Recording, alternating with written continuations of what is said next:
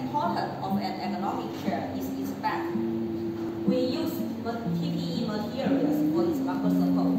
It has very big massage pad. It is very soft and make your back very comfortable.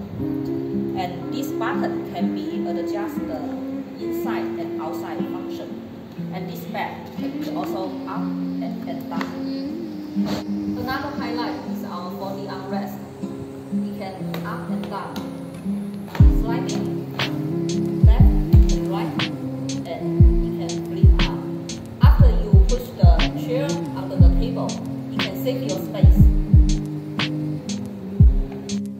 It can